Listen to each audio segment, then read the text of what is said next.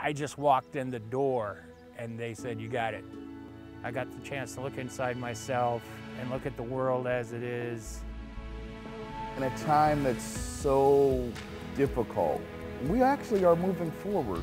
You didn't give up, and you knew that at the end of the day, hundreds of people's lives can be saved.